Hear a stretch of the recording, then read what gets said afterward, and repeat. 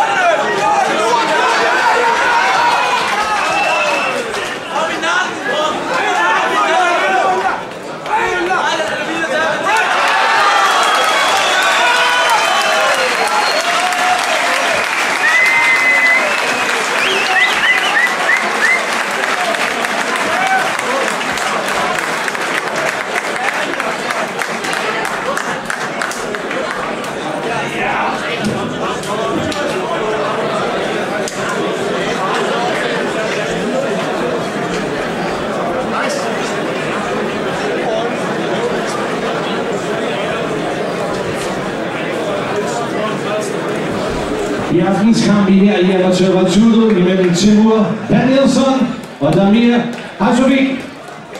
Kampen er vundet på. Nu kan jeg ikke huske, det var det flot. Kimura til Edward Damir Hazovic.